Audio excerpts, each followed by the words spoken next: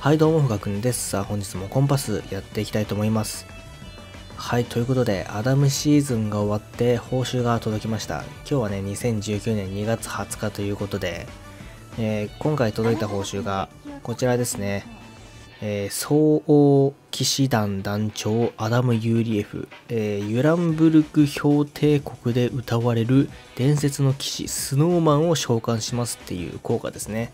でクールダウンが88秒発動時間無ということで、えー、ちょっとね気になりますよねこの数字 この数字気になりますよね88で前にね前にマリアのシーズンがあったんですけどそのマリアのシーズンの時もね、えー、101秒っていう意味深な数字だったんですよ。あと、メグメグの時もね、66とかね。なんか好きだよね、こういうの、最近。最近好きだよね。13の時はまあ130秒でまあまあわかるかなって感じなんですけど、今回この88秒調べました。で、エンジェルナンバーって言うんですけど、えー、エンジェルナンバー88。これはね、大いなる豊かさを表すっていうことらしいんですよ。で、どういうことかというと、えー、過去の働きに対する報酬が突然やってくるとき、で、忘れていたような過去の行動が突然結果となって目の前に現れることがある。って書かれてるんですよ、記事には。どういうこっちゃってことなんですけど。アダムってね、こう、まあ、公式とかが言ったわけじゃないんですけど、あのスラム街で育ったっていう設定なんじゃないかと言われてます。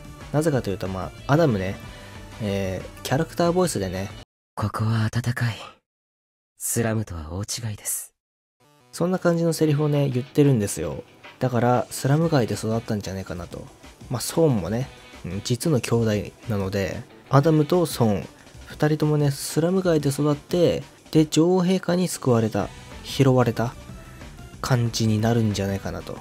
で、今、女王陛下に仕えてるっていう感じだと思うんですけど、なので過去の働きに対する報酬が突然やってくるとき。だからスラム街でこう必死に耐えて耐えてみたいな、こう食料がなくてね、飢えてた時もあっただろうし、まあそういうね、まあいろんな辛い思いをしたその時の報いというか、あの時頑張った報酬が、こう、ね、わかる？なかなかね、ちょっと説明しにくいんだけど、まあ、これからいいことがあるよって、2人にはいいことがあるよみたいな、そんな感じの意味なんじゃないかな、これ。88秒。うん。まあ、その他には、えー、8の数字は無限を表しており、それが連なる88のエンジェルナンバーには、永遠やこれからどこまでも広がっていく愛を表しますと。いうことで、うん、愛。アダムのソーンへの愛。ソーンからアダムへの敬愛っていう感じでね、お互いの愛がどこまでも広がっていくみたいなね。うん、いい話だ。いい話だ。っていう見方もあるのかなと思います。あと、えー、その他にはね、えー、この88、まあよく見たら雪だるまみたいな なんかマリアの時もあったんだけどね、101秒で遠いとも読めるから、遠い敵を引き寄せるみたいな、そういう感じなのかなとか、なんか、いろんな捉え方があります。ということで早速見ていきましょう。僕ね、初見なんですよ、これ。いきますよ。いきます。はい。やば。雪だるまじゃん。え、これ効果何秒？え、ずっとこれちょっと待って、グラフィック上げよう。グラフィック5にすると。わ、すごいな。え、ずっとこれ？ああ溶けた 溶けたんだけど、ちょっと待って、もう一回行こう。戻ってきました。いやー、いいね。かわいいね。かわいかったね。よいしょ。ポンって感じでね。ポンって感じで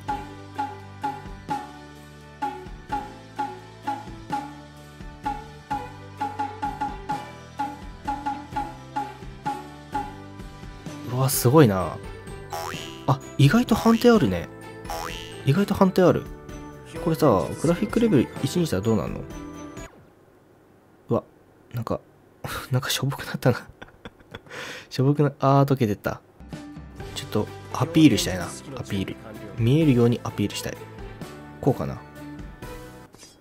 見え見え鼻鼻よあこれ結構難しいな。で効果大体20秒くらいかな。うん測った感じ。約20秒間ですね。これさ雪のとこダメージあったりしないのかな？ちょっとそれも見てみたいよね。その雪のところ踏んだら凍るみたいな。アダムとソーンのヒーロースキルみたいな感じで。それだったらめちゃめちゃ強いんだけどね、まあ、クールタイム88秒だから2回しか使えないんですけど。3回使えるかギリ。いきます。はい。これ。うんまあ凍らんよな。凍らんよな。もう雪降ってて結構いいね。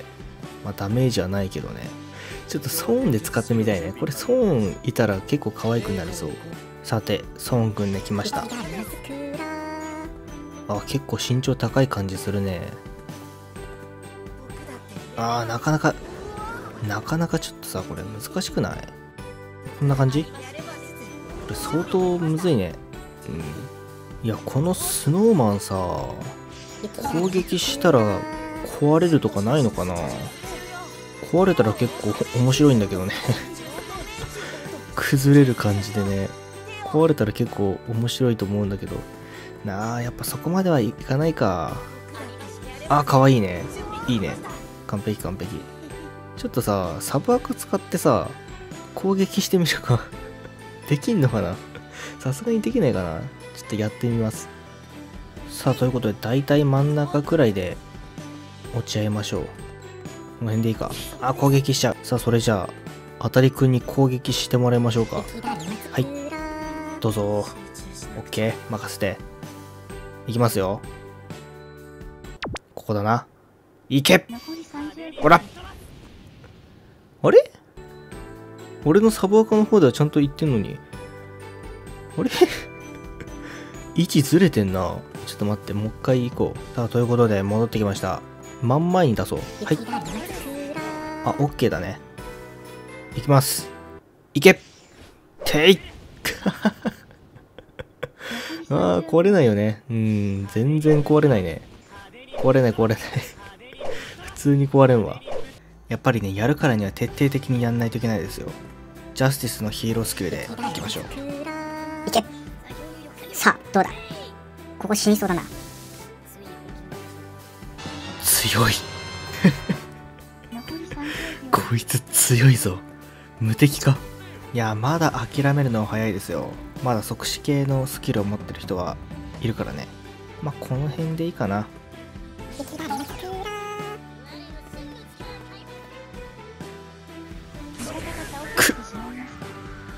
強い。倒れてない。さあ第3チャレンジャーはルチアーノですね。場所が難しいね。あすごい。ちょっと待って。その前にさこれあ食らわない。食らわないすごい。いきます。よっ。うん。普通に食らわない。通に食らわない。これさポータルキーみたいな感じだね。判定がちょっとだけあるからポータルキーみたいな感じでガンナーの攻撃とか防げるねこれ。新しい使い方を発見した。なるほどね。縦にできるわけだ。わあ意外と有能な雪だるまだな。さあ最後キララですね。まあ場所的にこの辺に置いとけばいいでしょう。どうだろ。う俺ここにいたら食らうからな。こっちの方いいかさあどうだ？く食らわない。食らわない。強いなこいつ。という検証結果でした。はい。まあということでこんな感じで終わります。それではプカくんでした。バイバイ。